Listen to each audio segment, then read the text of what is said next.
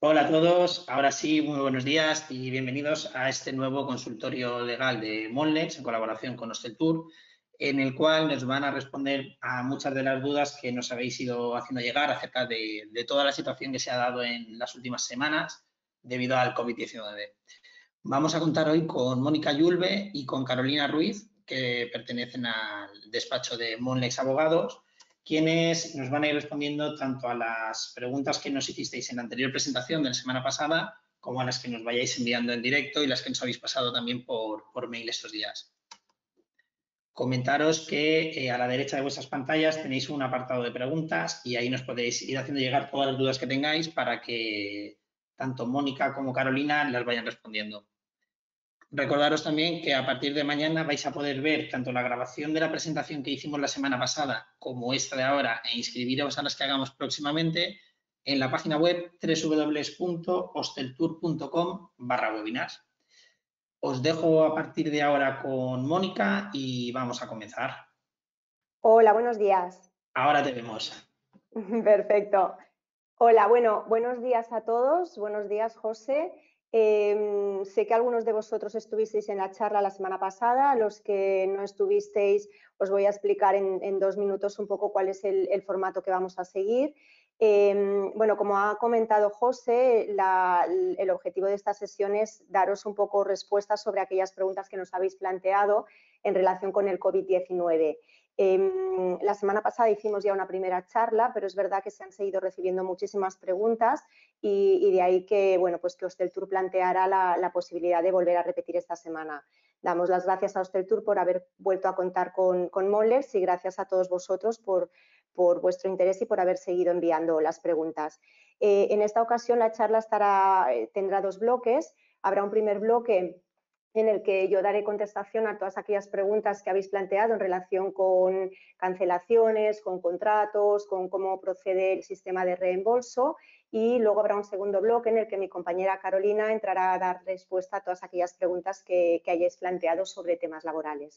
Por tanto, si os parece, eh, y dado que no, no, tenemos mucho tiempo y son muchísimas las preguntas que hemos recibido, empezaremos ya Recordaros que durante la charla podéis seguir eh, enviando preguntas y al final José hará una especie de, bueno, seleccionar aquellas preguntas que, considere para que podamos dar también respuesta a, las que se hayan podido quedar pendientes.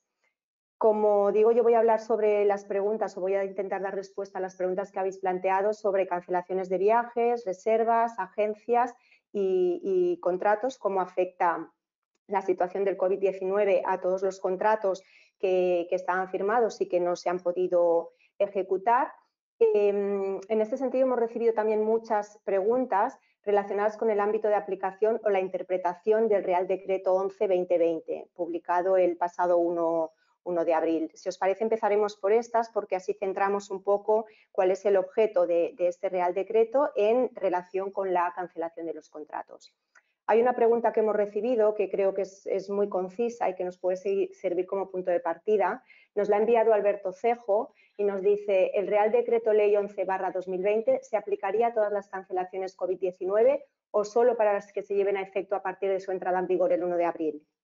Bueno, en primer lugar, hay que tener en cuenta que estamos hablando de contratos que se cancelan porque es imposible cumplirlos. Es decir, el Real Decreto 11 2020 habla expresamente de aquellos contratos de imposible cumplimiento por motivo bien del COVID-19, bien por las medidas adoptadas durante el estado de alarma.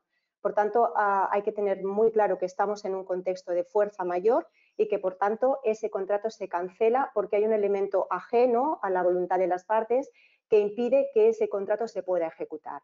Yo, consumidor, tengo un viaje contratado para irme a esquiar y se han cerrado las pistas, con lo cual no puedo ejecutar ese contrato. Tengo un hotel en Sevilla para Semana Santa y han ordenado el cierre de los hoteles, con lo cual no me puedo alojar eh, allí. Tengo un coche alquilado y han prohibido los desplazamientos por ocio. Por tanto, eh, son casos en los que yo, consumidor, no es que no quiera ejecutar ese contrato y no es que el prestador del servicio eh, tenga algún problema en ejecutarlo, sino que hay un elemento ajeno a la voluntad de ambas partes que impide que ese contrato se pueda ejecutar.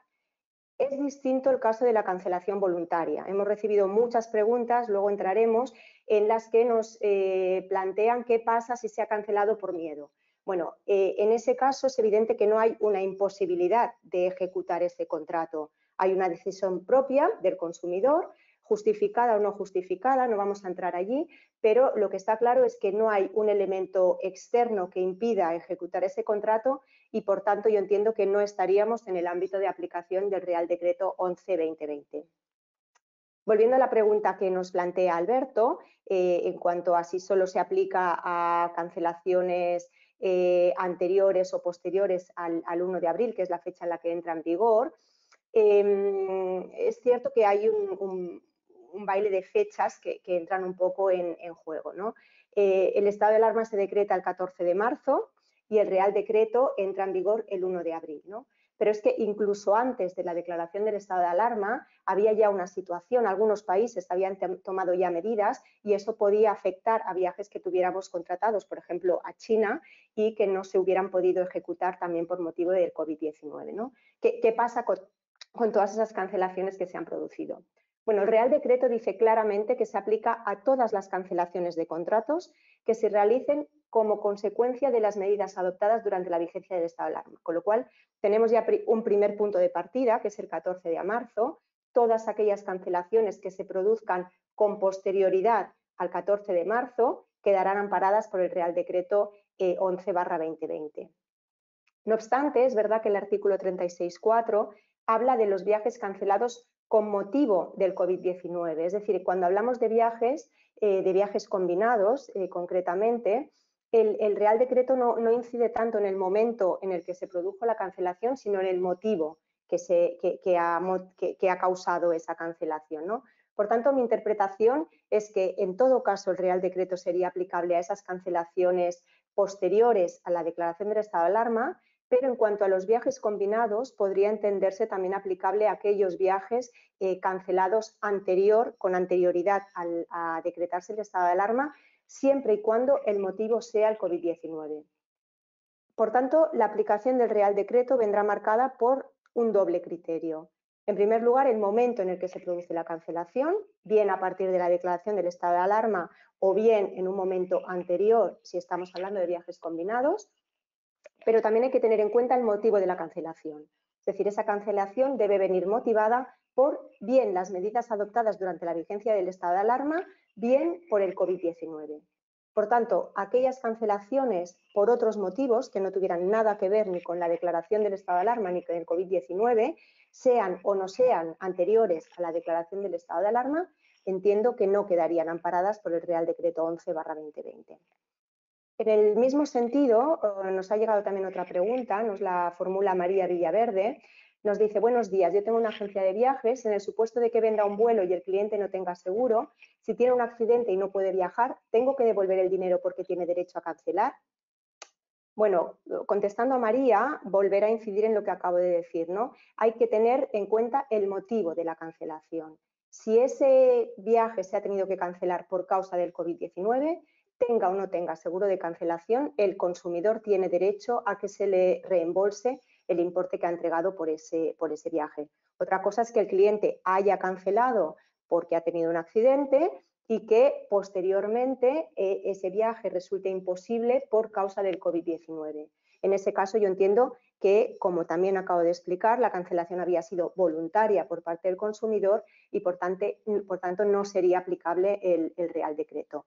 La duda es qué pasa si se solapan los dos momentos, es decir, un cliente que no tiene un seguro tiene un accidente y mientras está tramitando la cancelación eh, se cancela el viaje por motivo del COVID-19. Bueno, pues eh, en ese caso el consumidor ha tenido suerte porque a pesar de no tener seguro podría ampararse en que eh, es una situación extraordinaria y que el viaje se ha cancelado en cualquier caso por causa del COVID-19. Por tanto, aquí ya entraría eh, la, relación que tuviera el propio consumidor con la agencia o con el proveedor del servicio y, ver si, entienden o no aplicable. En todo caso, la negociación debe ser siempre en, términos de buena fe, con lo cual em, dependería de las dos partes.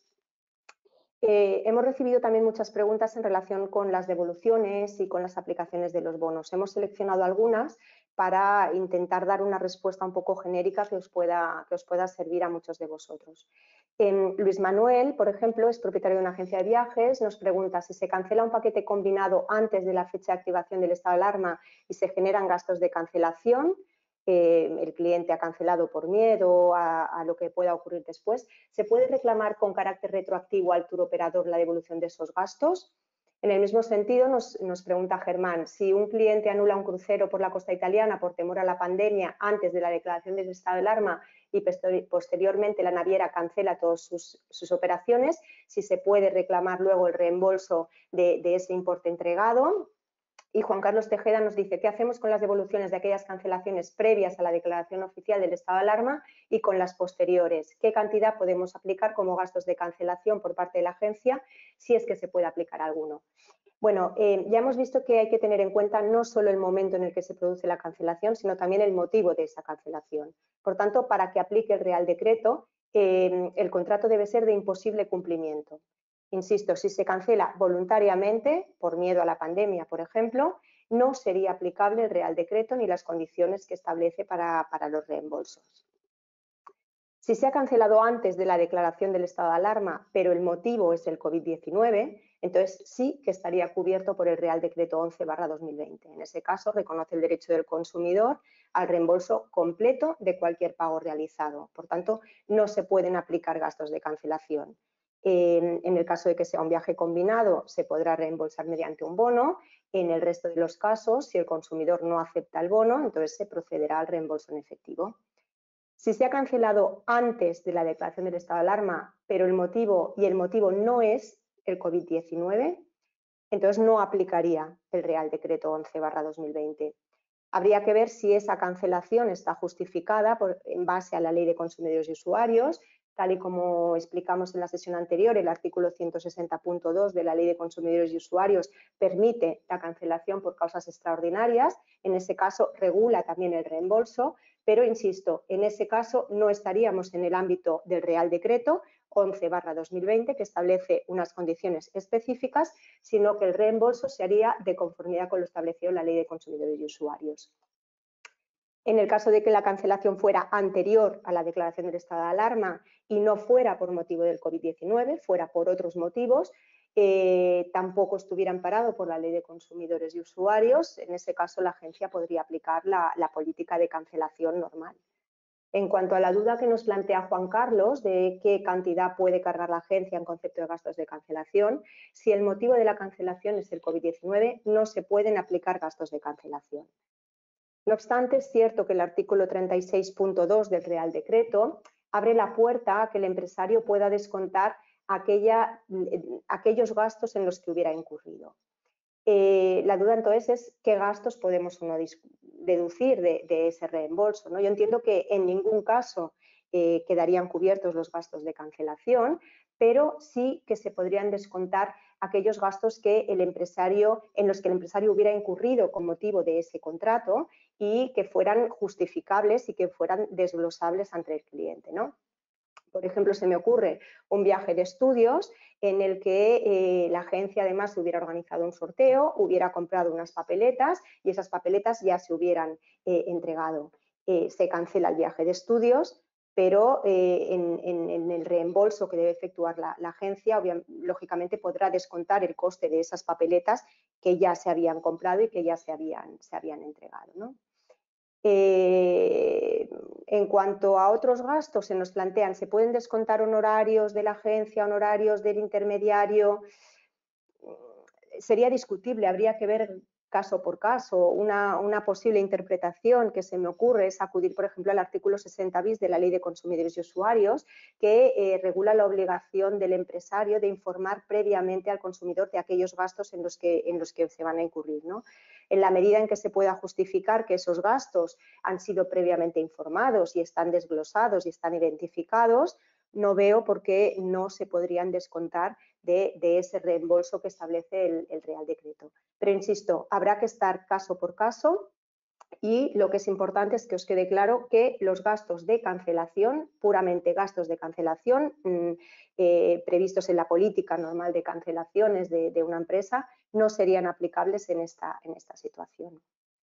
Em, otra pregunta nos la plantea Santina Confortí, nos dice, buenos días, ¿el reembolso con bono está previsto solo para pagos ya efectuados? Es decir, si el pago no se ha efectuado, ¿el proveedor tiene derecho a reclamar los gastos de cancelación para luego poder ofrecer el servicio como bono utilizable durante cierto periodo? Bueno, en primer lugar hay que aclarar que los reembolsos solo están previstos lógicamente para los pagos que se han efectuado. Si, no se ha efectuado un pago, no, no procede un reembolso. Lo que no se puede hacer en ningún caso es exigir un pago para cancelar. Eso sería aplicar una política de cancelación que precisamente es lo que intenta evitar el, Real Decreto 11 2020. Otra cosa es que si ya hemos pagado, eh, lo que pregunta Santina es si se puede retener alguna cantidad en concepto de gastos de cancelación y luego esa cantidad devolverla en concepto de bono. Bueno, la respuesta, mm, bajo mi punto de vista, sería que no. En primer lugar, por la propia configuración del bono que eh, establece el Real Decreto. Hay que entender que el bono se presenta como una especie de periodo de carencia para permitir a la agencia recuperar esos importes que haya abonado a terceros y que todavía no haya recuperado. Por tanto, si la agencia ya tiene ese importe, no procedería a obligar al, consumidor a, aceptar un bono. Pero en ningún caso el hecho de entregar un bono supone que el consumidor pierda el derecho al reembolso en efectivo. Es decir, lo que prevé el Real Decreto es que la agencia pueda entregar un bono, pero que si transcurrido un año el cliente no ha hecho uso de ese bono, en cualquier caso la agencia deberá reembolsarle en efectivo. Por tanto, no tendría sentido retener una cantidad, entregar un bono y luego reembolsar esa cantidad sería como utilizar al consumidor con una especie de financiación. ¿no? La, agencia está utilizando al consumidor para financiar una cantidad que luego le va, le va a reembolsar. Y eso no, no, es el objetivo que persigue el, Real Decreto. Eh, por tanto, los gastos de cancelación en ningún caso se pueden descontar y hay que eh, proceder a su reembolso en efectivo. No tiene sentido deducir esos gastos y entregarlos eh, mediante un bono. Carlos nos pregunta si los contratos de viaje combinado previstos para junio siguen vigentes. Eh, él entiende que mientras siga la operativa de vuelo y hotel, las cancelaciones se regirán por las condiciones del contrato. Bueno, efectivamente, la regulación del Real Decreto se refiere a los viajes cancelados con motivo del COVID-19. Por tanto, en la medida en que el viaje no haya sido cancelado, las medidas previstas no resultarían aplicables. ¿no? De todas formas, no hay que olvidar que la Ley de Consumidores y Usuarios eh, permite también en el artículo 160.2 la cancelación por causas extraordinarias.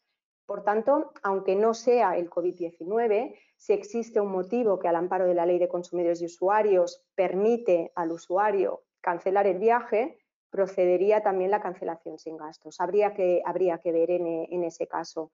Em, en cualquier caso, yo entiendo que las condiciones del contrato se mantienen mientras no concurra ningún motivo para la cancelación. Dependerá de las medidas que se hayan adoptado en junio, ver eh, si eh, tanto el contrato en sí como el destino mm, se ha visto o no afectado y hay motivos o no para cancelar. Luis Vives nos pide una aclaración, en realidad en relación con el bono sustitutorio. Nos dice, el derecho de resolución está sujeto a un plazo de 14 días, por lo que entendemos que si el cliente no hace uso del mismo en ese plazo, el derecho caducará sin que el establecimiento hotelero esté obligado a reembolsarlo. Bueno, es cierto que la, redacción del Real Decreto en este sentido es un poco compleja y ha dado lugar a, algunas discusiones, ¿no? Pero yo creo que la interpretación que hace Luis no es correcta. Em, en ningún caso el consumidor pierde el derecho al reembolso. El, Real Decreto establece, en todo caso, le reconoce ese derecho, pero es cierto que no está muy claro cómo juegan esos, plazos a los que el Real Decreto se, refiere. Hay que tener en cuenta que el Real Decreto 11 2020 reconoce el derecho del consumidor a resolver el contrato, pero que esa resolución tiene en todo caso un carácter supletorio con respecto a la negociación. Es decir, prima la negociación y únicamente si las alternativas que ofrece el empresario no convencen al consumidor, éste tiene derecho a resolver el contrato y a exigir el reembolso. Por tanto, el plazo de los 14 días se entendería para ejercitar la resolución del contrato en caso de que no hubiera llegado a un acuerdo con el, con el empresario. Em, tal y como nos, plantea Luis, ¿qué pasa si el consumidor no comunica esa intención de resolver el contrato y exigir el pago en efectivo? Bueno, yo entiendo que en este caso entraría en juego el plazo de 60 días que también establece el Real Decreto. Es decir, el Real Decreto da a las partes un plazo máximo de 60 días para intentar llegar a un acuerdo sobre alguna alternativa y el propio Real Decreto dice que si transcurridos esos 60 días no se ha llegado a un acuerdo, se entenderá que en todo caso se resuelve el contrato. Por tanto, aun en el supuesto de que el cliente o el consumidor no hiciera uso de ese, derecho de cancelación en el plazo de 14 días, eh, tendría derecho a ese reembolso transcurridos los 60 días desde, ah, desde, el momento en el que resulta imposible el cumplimiento del contrato. Susana Pascual nos pregunta, para viajes combinados con salidas de mayo, si el cliente no ha realizado el resto del pago por el viaje, ¿se cancela el contrato? Bueno, Susana, con independencia de que haya pagado o no el, viaje, si el viaje no se puede realizar por motivo del COVID-19, el cliente tiene derecho a cancelarlo. En ese caso, o bien se le reembolsa el dinero que ha pagado o bien se le ofrece una alternativa o un bono por ese importe. Eh, N de Acosta nos pregunta, si cierran un hotel por causa de fuerza mayor, ¿se puede quedar con el dinero y las reservas no reembolsables como crédito para que lo puedan utilizar cuando el hotel se abra de nuevo? Eh, bueno, insistimos en lo mismo. Siempre que el motivo de la cancelación sea el COVID-19, será aplicable el Real Decreto 11-2020. Y da igual si es porque cierra el hotel, porque cancelan el vuelo, porque no podemos salir de casa. Si el motivo de que no podamos disfrutar de ese viaje o de esa reserva es el COVID-19, eh, el empresario está obligado a ofrecer alternativas al cliente. Pero es importante tener en cuenta que es el cliente quien tiene la última palabra. Por tanto, en este caso, eh, el hotel te puede ofrecer la alternativa de un bono o de mantener la reserva para más adelante, pero si el cliente no acepta esa alternativa y exige el pago en efectivo, el hotel está obligado a hacer ese reembolso. Eh, Ángela Ayuso nos pregunta, ¿el bono que pueden entregar las agencias por un viaje combinado puede utilizarlo el cliente en otro servicio o tiene que canjearlo por otro viaje combinado? Bueno, el Real Decreto no, detalla en qué se podrá utilizar ese bono. Lo único que dice es que ese bono tendrá que ser por el mismo importe del reembolso que hubiera correspondido al cliente. A partir de ahí, deja la puerta abierta a la negociación entre las partes. Lo que hay que tener en cuenta es que el artículo 36.1 del Real Decreto habla de que la propuesta debe ser negociada sobre la base de la buena fe y esa propuesta, en todo caso, debe restaurar la reciprocidad de intereses del contrato. Por tanto, siempre que el consumidor entienda que esa propuesta de la agencia o del empresario le compensa y siente que se mantiene la reciprocidad, la agencia tiene libertad para poder ofrecer al cliente cualquier, cualquier alternativa. José Antonio Fernández nos, plantea un, caso muy específico. Dice que tiene una reserva de cinco clientas de segundo de bachillerato, eh, que Enseñamen en Cataluña ha cambiado las fechas de selectividad y que coinciden con un viaje que tenían programado para julio para un hotel no reembolsable. Nos pregunta qué puede hacer en este caso y si es un caso de fuerza mayor por COVID-19. Bueno, como os he dicho al principio, hay que tener en cuenta cuál es el objetivo último del Real Decreto y lo que persigue el Real Decreto es intentar proteger los derechos del consumidor sin causar un eh, excesivo perjuicio económico a la agencia o al empresario. Por otra parte, lo que también establece el Real Decreto es que prima la negociación sobre la cancelación del viaje y que en todo caso se obliga a negociar en términos de buena fe. Eh, en este caso yo entiendo que la cancelación se produce quizá no directamente como el COVID por el COVID-19, pero sí como, como, consecuencia de las medidas adoptadas durante la vigencia del estado de alarma. Una de esas medidas es que la Generalitat de Cataluña ha decidido modificar las fechas de selectividad. Por tanto, se podría entender que estamos en un supuesto regulado en el artículo 36.1 del Real Decreto. Hay un servicio contratado, que es una reserva de hotel, cuya ejecución resulta imposible como consecuencia de una medida adoptada durante la vigencia del estado de alarma, que es la modificación de las fechas de selectividad. Por tanto, yo entiendo que, sí que podría entenderse que estamos en un contexto previsto por el Real Decreto y lo que procedería en este caso es ofrecer una alternativa a las clientas y si no lo aceptan podrían exigir el reembolso. Carlos Aviñó nos dice, en este caso, tiene una finca para bodas y eventos, nos comenta que tienen bodas y eventos para los meses de abril y mayo, que de momento están intentando posponerlas, pero que hay casos en los que las fechas no, se aceptan por parte del contratante. Nos pregunta qué obligación contractual tienen. En el mismo sentido, eh, Yolanda tiene una agencia de viajes, nos dice que en caso de que sea un servicio suelto de un hotel o de un vuelo, que la tarifa no sea reembolsable, si el decreto del 31 de marzo también marca la posibilidad del reembolso por bono o cómo hay que proceder en estos casos. Bueno, en los dos casos nos encontramos eh, en lo que el Real Decreto eh, llama como em, un contrato de prestación de servicios. Es decir, no es un viaje combinado, sino que es un contrato de prestación de servicios. Por tanto, entraría en el primer párrafo del artículo 36. En ambos casos nos encontramos ante contratos que son, cuya ejecución es imposible por motivo del COVID-19 o bien como consecuencia de las medidas adoptadas durante la vigencia del estado de alarma. Por tanto, en esos casos, el consumidor tiene derecho a resolver el contrato siempre que las propuestas alternativas ofrecidas por el empresario no sean aceptables. Por tanto, ¿cuál es la obligación del, empresario? La, obligación del empresario es, en primer lugar, ofrecer alternativas al cliente, negociar en términos de buena fe y si el cliente no acepta ninguna de las alternativas, el cliente tiene derecho a optar por la resolución del contrato.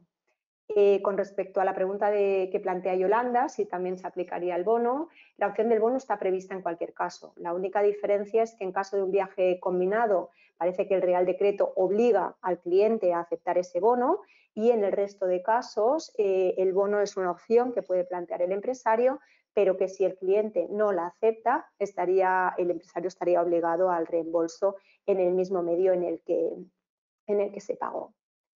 Em, hemos recibido también otro, una serie de preguntas en relación con contratos con turoperadores y contratos de arrendamiento. Mm, como ya dijimos en la, anterior sesión, el Real Decreto 11-2020 regula los contratos con consumidores. Por tanto, estas medidas son aplicables frente a los consumidores, pero no serían aplicables en la relación entre empresarios. Allí habría que estar a lo que se ha establecido en el contrato o a la normativa vigente, a la normativa a la que se regula o se remite el propio contrato. No obstante, hay algunas preguntas que sí que por su carácter genérico podrían resultar interesantes. ¿no? Yannick Ejar nos pregunta, eh, no abrimos nuestro hotel hasta junio, tenemos un contrato con un turoperador alemán que insiste en enviar clientes en mayo, ¿quién se haría cargo de los desvíos? Habría terminado el estado de alarma y no se puede aplicar la cláusula de fuerza mayor. Bueno, en este caso hay varios puntos a tener en cuenta. El primero es que en estos momentos no podemos afirmar si será posible o no abrir el hotel en junio y si el turoperador podrá o no enviar clientes en mayo. Eh, no sabemos qué va a pasar con los hoteles, cuándo se va a permitir la reapertura, en qué condiciones. Tampoco sabemos cuándo se van a abrir los aeropuertos, si habrá alguna restricción al tráfico comercial, si se permitirán directamente los vuelos internacionales, si habrá restricciones por destino. Por tanto, la, recomendación ahora mismo sería de prudencia. Hay que seguir trabajando, obviamente, para intentar salvar la temporada, pero em, conscientes de que no podemos aventurar cuál va a ser la, situación en mayo o en junio. En cuanto a la afirmación de que si ha terminado el estado de alarma no se puede aplicar la cláusula de fuerza mayor, no sería del todo correcta. Em, en primer lugar, porque bueno, ya hemos visto que el Real Decreto regula la relación con, con consumidores y no con empresarios, por tanto, habría que ver eh, qué, regula el contrato que tengamos con el turoperador en relación con la fuerza mayor. Normalmente los contratos con turoperadores suelen regular la fuerza mayor y, por tanto, eh, habrá que ver qué, es lo que se dice. Y en segundo lugar, me gustaría aclarar que no solo las cancelaciones durante el estado de alarma son fuerza mayor. Pueden ser también aquellas cancelaciones como consecuencia de las medidas adoptadas. Por tanto, es posible que los efectos de la fuerza mayor vayan más allá de la duración del estado de alarma propiamente dicho. En cualquier caso, la aplicación de la fuerza mayor debe analizarse en el momento en el que concurra la causa de resolución o en el momento en que se plantee la, imposibilidad de, cumplir ese contrato. No se puede eh, anticipar porque habrá que ver si en ese momento existe o no un motivo ajeno a la voluntad de las partes que nos impide ejecutar ese contrato y eso será lo que marcará si hay o no eh, fuerza mayor. Bernardo nos plantea qué sucede cuando por fuerza mayor tras la situación en Italia me han cancelado un contrato que aún tiene una vigencia de dos años. ¿Puede cancelarlo por todo el tiempo o solo por el tiempo en suspensión? Bueno, Bernardo, insisto de nuevo en que hay que ver lo que dice el contrato. En principio, si se trata de un contrato de dos años y la fuerza mayor solo afecta a unos meses, pues se podría entender que no es causa de resolución lo que habría que, hacer es dejar el contrato en suspenso durante esos meses, negociar las condiciones para ese periodo, pero transcurrido ese periodo, el contrato puede seguir desplegando sus efectos. Si se ha cancelado ese contrato y realmente no habría una causa para la cancelación, podríamos estar ante, una resolución injustificada y Bernardo tendría derecho a exigir una, indemnización por los daños y perjuicios. ¿no? Pero es posible que el contrato lo regule y que en ese caso se permita la resolución. Por tanto, sería una resolución procedente y no habría ninguna, ninguna causa para, reclamar. Por tanto, insisto, habrá que, ver qué es lo que dice el contrato. Y ya por último, porque creo que me estoy saliendo un poco de tiempo, la última pregunta eh, nos la plantea Conrado y dice, quería saber si en los contratos de alquiler de local, al no utilizarlo por estar cerrado, tenemos la obligación de pagar la cuota al arrendador. Bueno, este tema lo tratamos ya de forma más amplia en la sesión anterior. Em, un poco por, por, resumir, en principio ese contrato no ha quedado resuelto, ha quedado en suspenso unos meses, pero el contrato sigue vigente, por tanto siguen vigentes las obligaciones de las partes y la obligación del arrendatario es la de pagar la renta. Lo que sucede es que en este caso el arrendatario tiene la posibilidad de solicitar al propietario una revisión de esa renta durante ese periodo en que está cerrado. ¿no? Esto sería en base a la cláusula que se denomina rebus y stantibus, que de forma muy resumida es una cláusula que permite que ante un cambio de circunstancias se modifiquen las situaciones y las condiciones de las partes para intentar mantener ese equilibrio de las prestaciones. Por tanto, lo que puede hacer el arrendatario es plantear esa posibilidad de negociar al propietario. Si el propietario se niega a, renegociar las condiciones, cabe la posibilidad de eh, presentar una, demanda y exigir que sea el tribunal el que decida si, eh, si procede o no esa, revisión. Tenemos muchas más preguntas, pero, bueno, eh, el tiempo es, es, un poco limitado. Y, luego, en todo caso, José podrá hacer una siguiente ronda. Por tanto, si os parece, paro ya, dejo ya mi, parte de contratos y doy paso a mi compañera Carolina, que eh, entrará a contestaros las preguntas que se hayan formulado en relación con temas eh, laborales.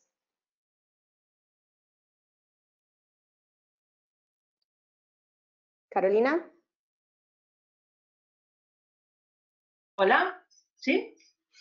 Buenos días. Eh, gracias, Mónica, eh, por la introducción. Bueno, eh, yo estoy aquí para resolver las cuestiones que se han suscitado a nivel laboral, todo relativo. Carolina, discúlpame. Hola, soy José. no sé si tienes posibilidad de bajar un poquito la cámara. Estamos viendo ahora mismo gran parte de... perfecto, mucho mejor. Vale. Mucho mejor. Ahí, ahí te vemos bien, gracias. Vale, muy bien. bueno, como os comentaba, eh, mi parte básicamente va a ser para intentar arrojar luz y aclarar muchísimas cuestiones en el ámbito laboral derivadas de la tramitación, gestión de ERTES. Han sido muchísimas las dudas que nos han llegado y se han planteado y yo voy a intentar, eh, porque el, tiempo apremia, estructurarlo en una serie de bloques, sobre todo haciendo hincapié en aquellas cuestiones que más eh, se han suscitado. Entonces, comenzaríamos con las dudas que se han planteado acerca de la situación y llamamientos de los trabajadores discontinuos. Continuaríamos con el tema de la obligación de mantener durante este periodo de seis meses el empleo para aquellas empresas que nos hemos acogido a un ERTE. El tercer bloque voy a intentar sintetizar qué es lo que pasa, que es una situación que se está generalizando. No tengo resolución expresa a mi petición de ERTE cuándo se debe entender aprobado en su caso, no aprobado, qué es lo que puedo hacer y ah, finalmente en relación a eh, el rechazo de un ERTE por fuerza mayor, qué opciones tengo.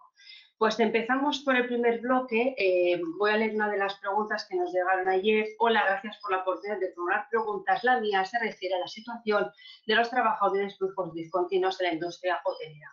En nuestro caso, parte de la plantilla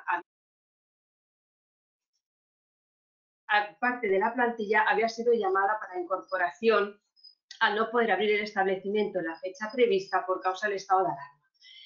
¿Qué obligaciones tenemos respecto a este colectivo? ¿Deberíamos haberlos incluidos en el ERTE de fuerza mayor? ¿Y qué pasaría si finalmente las condiciones del mercado aconsejan abrir este año? Y nos apunta eh, la, la interlocutora que la mayoría de hoteles de temporada creo que tenemos las mismas dudas. ¿Nos podéis dar alguna luz sobre ello? Muchas gracias por estos seminarios. Pues efectivamente deberíamos haber incluido a esos trabajadores fijos discontinuos en el ERTE.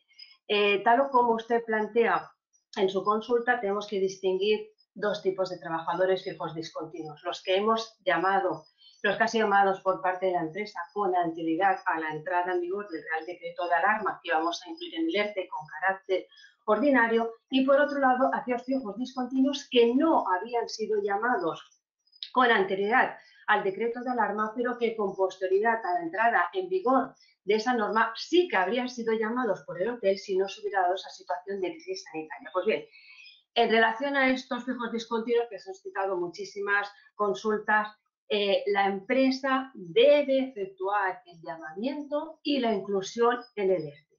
Por lo tanto, vamos a distinguir trabajadores cuya fecha habitual de llamamiento era anterior a la fecha de efectos del ERTE, se incluirán en el ERTE con la fecha que corresponda a la presentación del mismo.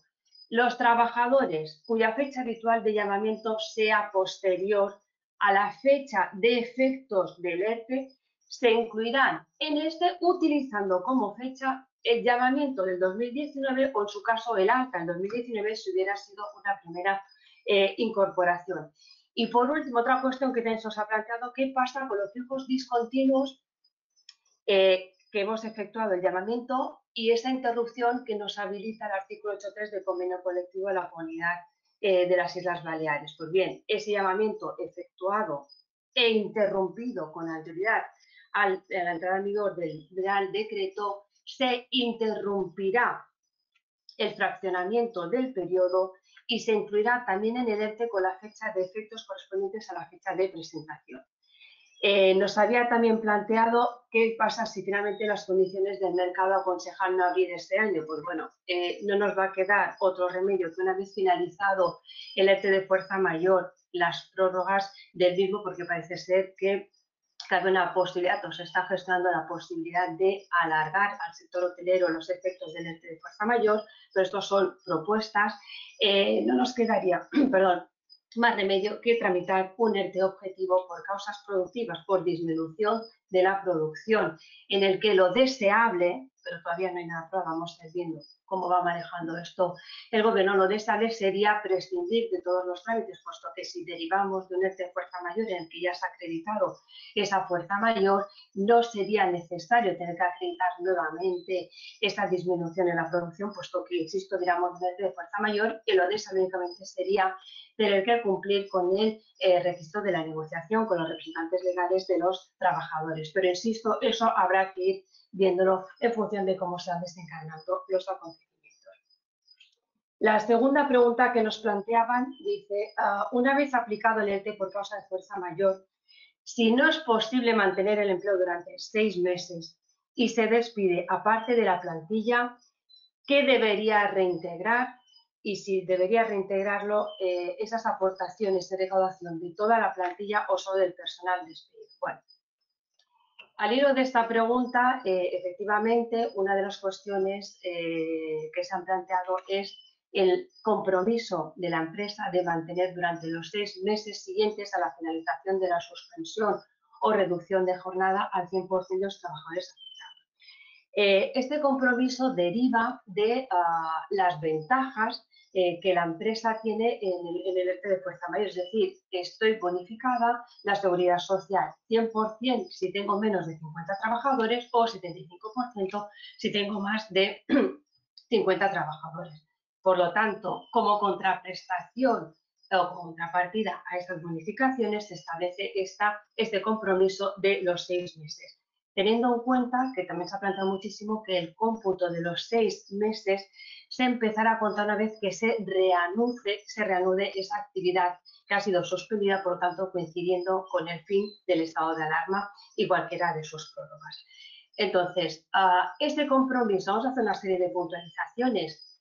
Eh, mantener los seis meses, durante los seis meses, el empleo, eh, hay que aclarar que no se va a entender incumplido ese compromiso de los seis meses si se extingue la relación laboral o el contrato, bien por despido disciplinario, que ha sido declarado procedente, por dimisión, jubilación, incapacidad permanente en cualquiera de esos dos, incapacidad permanente total, absoluta, incluso la gran invalidez del trabajador. Por lo tanto, aquí, en este supuesto, no existiría un incumplimiento de esta cláusula ese compromiso de mantener durante seis meses. En el caso de los contratos temporales, que también han suscitado muchísimas dudas, tampoco se va a entender incumplido el compromiso cuando el contrato se extinga por expiración del plazo convenido o por finalización de la obra o servicio que constituye su objeto. Y para el caso de los fijos discontinuos, tampoco se va a entender incumplido el compromiso de los seis meses cuando finalice o se interrumpa el periodo estacional de actividad. Por lo tanto, vemos dentro de ese compromiso estas puntualizaciones y sobre todo que se tiene en cuenta las características y circunstancias de la empresa y del sector correspondiente atendiendo efectivamente a la estacionalidad o variabilidad del empleo. Me pregunta entonces si no se cumple con el plazo de seis meses, habiendo eh, puntualizado estas matizaciones, ¿cuáles serían las consecuencias de incumplir? Pues bueno, evidentemente la primera consecuencia va a ser devolver todas las ayudas recibidas a raíz de la aprobación de ese ERTE regulado por el Real Decreto Ley 8 2020 lo que va a suponer, por lo tanto, de restituir a la seguridad social esas cuotas cuya bonificación viene al 100%, viene al 75%, eh, fue beneficiada la empresa al acogerse a ese, a ese arte. También puede tener la obligación, evidentemente, de tener que restituir o pagar el salario a los trabajadores. La duda que me planteas, ¿afecta a toda la plantilla o son los trabajadores eh, afectados? Bueno, aquí entendemos, se puede entender que si tú has incumplido ese compromiso de mantener el empleo, equivaldría a una nulidad de ese ERTE por lo tanto, efectivamente, te podrían obligar a restituir la totalidad de las bonificaciones de todos los trabajadores que hayan sido afectados por ese ERTE. Porque, insisto, si no cumples el compromiso, que es condición, que además debes, eh, eh, debes firmar en el momento de presentar la solicitud se entendería es como una nulidad del ERTE por lo tanto entiendo que efectivamente te podrían obligar a restituir no solamente los que has despedido, sino de la totalidad de la plantilla.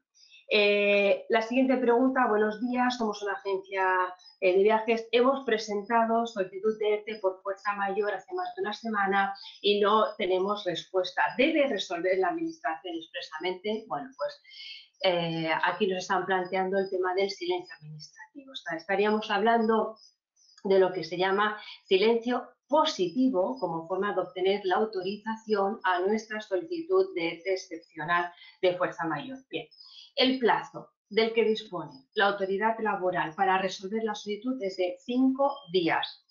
Cinco días que pueden ser prorrogados mediante resolución expresa que tienen que comunicar al interesado por otros cinco días pero en principio son cinco días. Son muchísimas las preguntas que nos han planteado acerca del cómputo de esos cinco días. Pues bien, debe entenderse como días hábiles, por lo tanto, no vamos a contar ni sábados, ni domingos, ni festivos. Por lo tanto, aquellos que presentaron el ERTE hace algo más de una semana, que tengan en cuenta que en ese cómputo de estos últimos cinco días eh, no deberán computarse los días festivos de Semana Santa. Eh, por lo tanto, días hábiles, porque así lo preceptúa la ley de procedimiento administrativo. En consecuencia, transcurrido el plazo de esos cinco días hábiles, a contar desde el día siguiente la fecha de presentación, es decir, no computamos el día que presento la solicitud, sino a partir del día siguiente computamos cinco días hábiles, entenderemos, si no tenemos resolución expresa, que ha sido aprobado el arte por la institución que se conoce como silencio administrativo positivo. Y es más, una vez aprobado un ERTE por silencio administrativo positivo, no puede después la administración derogar ese acto porque es un acto declarativo de derechos. Por lo tanto, la Administración no puede sin más dejar sin efecto ese reconocimiento por servicio administrativo positivo, sino que se vería obligada a instar cualquiera de los procedimientos de revisión que se prevé la ley procedimiento administrativo para, en su caso, dejar sin efecto ese reconocido por servicio administrativo. Eh, otra pregunta que nos plantean, dice, somos una pyme de consultoría y auditorías higiénico-sanitarias para el sector hotelero de Baleares y el 100% de nuestros clientes son hoteles.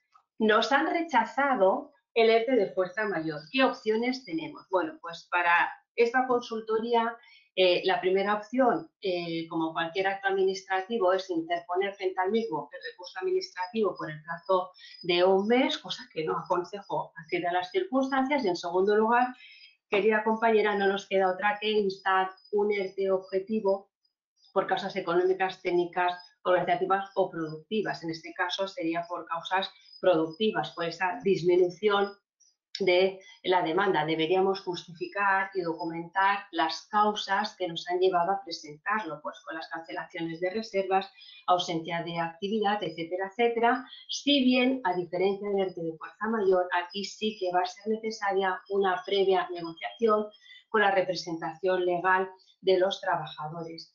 A diferencia, insisto, de fuerza mayor, en esa negociación puede ocurrir que no se llegue a un acuerdo, en cuyo caso le corresponderá a la empresa adoptar las medidas que considere, teniendo en cuenta que es esa decisión final de la empresa que no ha sido enmarcada en un acuerdo con la representación legal de los trabajadores, no fuese aceptada por los sindicatos o por los representantes de los trabajadores, que sepas que pueden acudir a la vía judicial. En principio, bueno, creo que eh, vamos justo de tiempo. Eh, no sé si ya sería el turno de las José Mónica de las, preguntas que han ido llegando o, continuamos o cómo lo gestionamos. Hola Carolina, pues efectivamente, como, bien dices, eh, vamos un poquito justos de tiempo entonces, si, te parece, vamos respondiendo a las preguntas que nos han enviado, también un poco para poder, poder dar cabida tanto a la gente que participó en la, presentación anterior como también a, todos los asistentes que, están en esta. Si os parece, yo voy a incorporar a Mónica. Eh, Mónica, te, abro, te he abierto el micro. No sé si puedes compartirlo en la cámara. Perfecto, ahora volvemos ahí a las dos. Vale, y comienzo a leerte algunas de las preguntas, Mónica, que nos han enviado. La primera de ellas es de Gonzalo y nos decía, ¿estamos obligados los hoteleros a reembolsar el dinero de las reservas como tal? ¿O se puede dar avales o créditos para utilizar los alojamientos? Bueno, como, he explicado, en el Real Decreto establece tres supuestos diferenciados. En primer lugar, habla del contrato de prestación de servicios. En segundo lugar, distingue lo que es un contrato de tracto sucesivo y en tercer lugar habla del contrato de viaje combinado. Únicamente en el contrato de viaje combinado, el Real Decreto establece la obligación del eh, cliente de aceptar el bono. Es decir, las agencias en caso de un viaje combinado pueden optar por ofrecer un bono y el cliente no, no puede oponerse. En los demás casos, si únicamente se trata de una reserva de hotel, entiendo que entraría dentro del contrato de prestación de servicios, que es lo que regulan los artículos, los párrafos 1 y 2 del artículo 36, y en ese caso la, decisión corresponde al consumidor. Si el consumidor acepta el bono que le entrega el hotel, eh, perfecto, pero en caso de que el consumidor no lo acepte, el consumidor tiene derecho a exigir el reembolso. La siguiente, Carolina, nos la envía Jesús, en este caso es para ti, y nos dice, eh, tengo una agencia de viajes con ocho trabajadores. Nuestra intención es realizar un ERTE de fuerza mayor, pero tras el decreto del día 28 de marzo que establece obligatoriedad del permiso retribuido, nuestros asesores entienden que ya no podemos solicitarlo y que en caso de solicitarlo, posiblemente sería denegado por la autoridad laboral.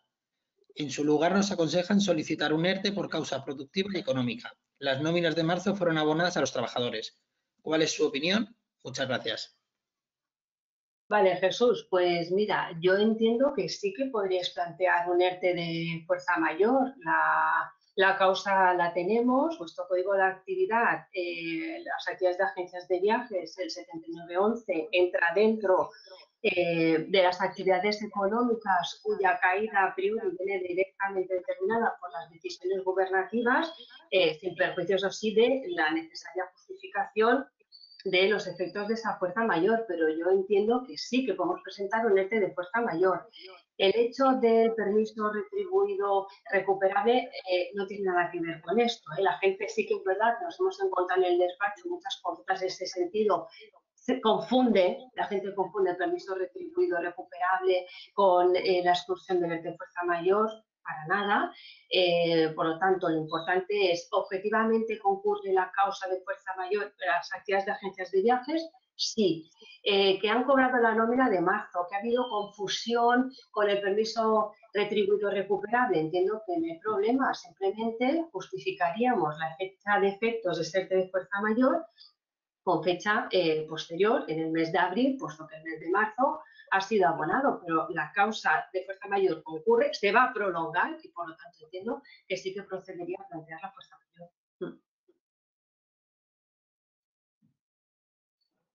La siguiente, Mónica, es para ti, eh, es de José Antonio y nos, decía, eh, buenos días, ¿se puede pedir legalmente al arrendador de un local comercial una rebaja de la renta o contrato amparándose en la situación de fuerza mayor derivada del COVID-19?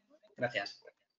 Em, bueno, esto lo, hemos tratado también. En primer lugar, habría que ver qué dice el contrato. Es posible que el contrato regule expresamente esa situación o que regule una revisión de la renta en determinadas condiciones. Por tanto, lo primero es ver qué dice el contrato. Si el contrato no dice nada, em, evidentemente el arrendatario está en, su derecho de, plantear al propietario la posibilidad de, revisar esa renta, como digo, en base a la cláusula rebus y que está antibus. También es verdad que el propietario no tiene ninguna obligación de aceptar esa revisión, es decir, el, arrendatario puede plantearla, pero eh, el propietario puede negarse. En caso de que el propietario se niegue, el, bueno, pues el arrendatario tiene la posibilidad de eh, plantear esa, demanda ante un tribunal y que sea el tribunal quien decida si procede o no procede la, revisión de la renta. Pero, pero, en principio sí, sí que estaría legitimado para, instar esa, solicitud. Vale, Carolina, la siguiente es para ti y nos preguntaba, eh, mi consulta es sobre un tema de excedencia. Tenemos a una trabajadora con excedencia por cuidado de hijo con reserva de puesto que a principios de marzo, por tanto, antes de presentar el ERTE por fuerza mayor, nos comunica que quiere alargar la excedencia hasta el 4 de mayo, de mayo con reducción de 5 horas. Ya nos ha remitido carta de reincorporación para el próximo 5 de mayo. ¿Cómo procedemos? Pues bueno, en este caso, eh, según lo que me planteas, que había comunicado eh, alargar la excedencia y, la reincorporación, deberíamos, porque me has dicho que la, si no he entendido mal, que la comunicación fue antes del tema del ERTE, pues deberíamos haberla incluido en el ERTE como parte de la plantilla afectada. Entonces, si no lo hemos hecho, no nos va a quedar otra que hacer un ERTE para esa trabajadora. No hay otra solución. Debería haber incorporado anteriormente, sí.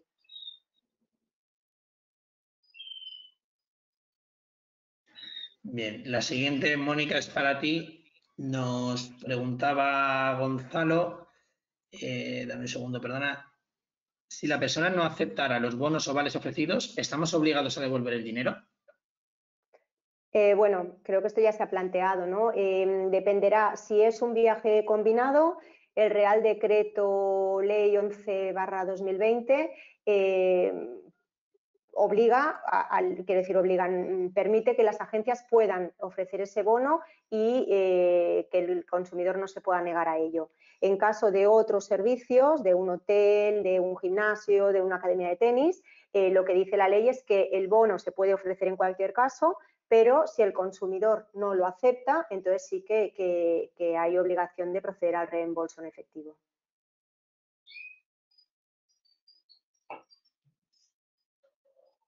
La siguiente es para Carolina y nos decían, eh, nuestra empresa desarrolla software para agencias de viajes y operadores turísticos. Nuestro CNAE, por tanto, no está dentro del sector de turismo. Es el 7311 Agencias de Publicidad dado que todos nuestros clientes están afectados por las restricciones del COVID, ¿cabe alguna posibilidad de que a nuestra empresa se le pueda aprobar un ERTE por causa de fuerza mayor o realmente no es posible? Bueno, aquí con la información que me traslades en esta consulta, eh, cabría la posibilidad de plantear el ERTE de fuerza mayor, pero si usted acredita la especial vinculación con los sectores o actividades que han eh, tenido cese de actividad como consecuencia de las medidas gubernativas. Entonces, eh, si usted es proveedor de dichos servicios software, si usted es proveedor de esos servicios y su principal cliente es un hotel, eh, más del 80%, entiendo que sí que podría eh, una, sí que podría plantearse el ERTE de fuerza mayor, pero insisto, tiene que ser proveedor del sector hotelero en más de un 80% de su actividad. Entonces, de esa manera podemos acreditar eh, que la situación deriva directamente del cierre de esos eh, clientes. Pero eh, sería, bueno, aquí nos faltan datos, se podría plantear, insisto, si se cumple ese parámetro del 80%, si no, no tendrá más remedio que sobre este objetivo por disminución de la